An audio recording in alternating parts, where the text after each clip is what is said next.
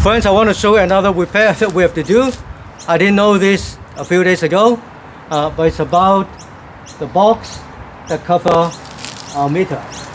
So this is a light uh, Wahab Scarlet rope keeping this box for the time being. Uh,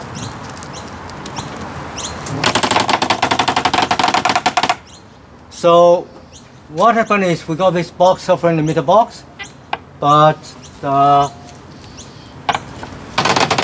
the timber really got rotten and I think we need to get our workman Wilson to replace the box so it's going to be a some sort of expenses.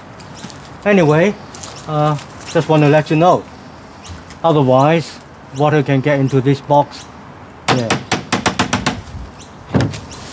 okay put it back